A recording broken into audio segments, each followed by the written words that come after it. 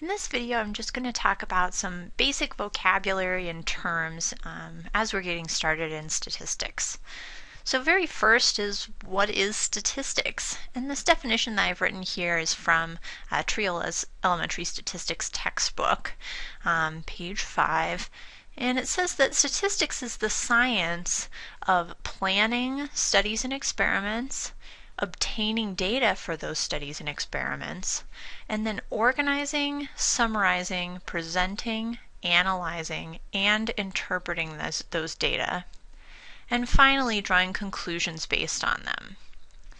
So in this class, we're going to talk a lot about sort of the mathematics behind this um, and how we can organize and summarize and present and analyze uh, data but the really important piece of statistics is being able to collect a bunch of data about something and then figure out some sort of meaningful conclusion to um, to come to. So as you're going through this class, when we talk about things that we're measuring like hypothesis tests or means or standard deviation that we're going to talk about, you want to, in the end, be thinking about, okay, well, what does this tell us and, and how do we um, draw conclusions based on this information? So central to this whole idea of statistics is, of course, data. And data can be a very broad range of information.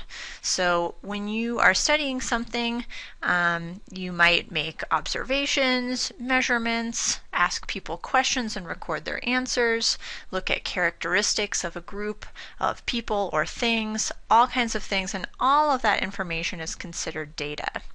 So if you are considering, say, ice cream consumption in the United States, you might ask people what their favorite flavor of ice cream is. That would be a piece of data.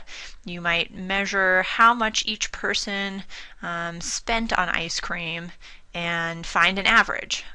Both the numbers for each person and also the average are data. So data encompasses a lot. And first and foremost, we want to sort of split our data into two things. The first thing we have is population. And the population is all the data under consideration, so everything we're interested in studying. Compared to that, we also have sample. And the sample is the data or, or pieces of information that we can actually measure or survey.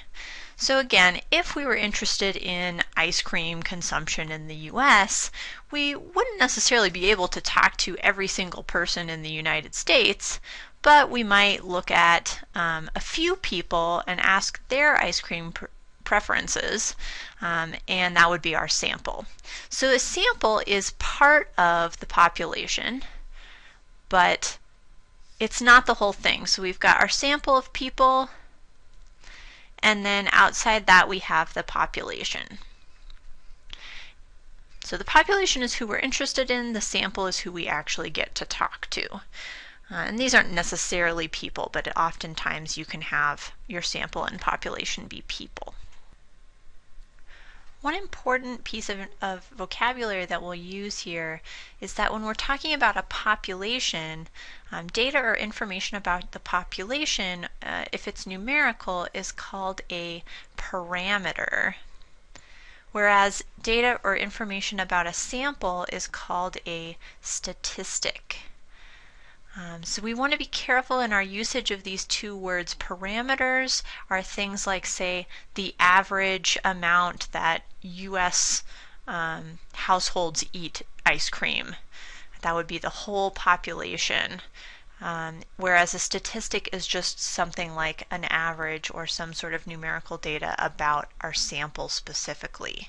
So if we're talking about a sample, we want to use the term statistic. If we're talking about a population, that would be a parameter. Next piece here, um, two terms that we'll talk about early on is significance, both statistical significance and practical sig significance. So first of all, statistical significance. Statistical significance says that the result we're getting is unlikely to be just accidental or just by chance. So for example, if we thought that the average age of a Red Rock student was 27 years old, and that was our hypothesis, um, and we did a survey and asked six people or six students how old they were, and we got a sample age of 38 years old. Well, clearly this is higher than our 27 years old, but we could ask, well, does this have statistical significance? If the population actually was an average of 27 years old, would it be uh, likely that we might get 38 years old just by chance? Well, it depends. In this case, if we only asked six people, then yeah, this could just be accidental. You might have just happened to ask six people that were older than average. If we had asked a thousand people, then we might say, yes, this does have statistical significance. So this is sort of a mathematical calculation that we have to do. Um, but if we say something has statistical significance, it means that it's probably a legitimate result and not just something that happened by chance. The next piece is practical significance. Practical significance is not a mathematical calculation. This is basically just saying that the result we have is meaningful. It has some sort of um, practical purpose. So for example, if you studied a new diet and found that there's a statistically significant weight loss difference in those who did the diet, and over three months, those who are on the diet lost an additional 2.8 pounds above what those who weren't on the diet did.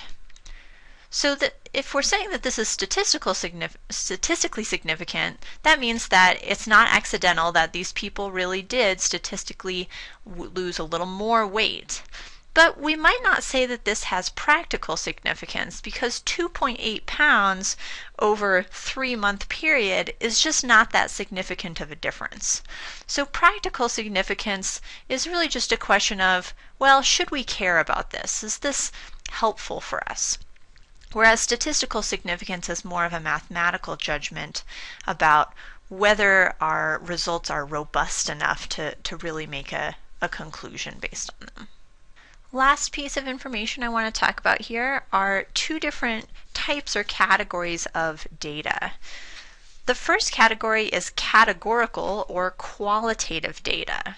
Categorical data is something like a label or a description, a name. It's some kind of information about um, something that we're studying, but it's generally not a number. So some examples here we might have um, the color of something. If we were surveying for eye color, um, someone's nationality, or um, uh, gender. These are all sort of labels or descriptions that we can record about a person or thing. This is in comparison to numerical or quantitative data, and numerical or quantitative data is something that's actually a number. So this could be an age, it could be a height, um, a weight, some count of something, how many dollars someone has in their bank account or something like that. Could be something like a test score. Basically anything that's a number would fall under numerical or quantitative data. We want to split these into two different types because typically we can only really do statistics or at least the mathematical side of statistics with something that's a number. Categorical or qualitative statistic or information is also very important in many cases, but it can be more difficult to study since we can't do mathematical operations like finding an average. Here's a problem for you to try. This one has a few parts. A study is done to see if a certain drug affects the weight of cats. Among all cats, the average weight is 9 pounds, but when the drug was given to 30 cats, their average weight was 8.75 pounds. So we've got some summary questions about this. Go ahead and fill out these answers, and I'll see you in the next video.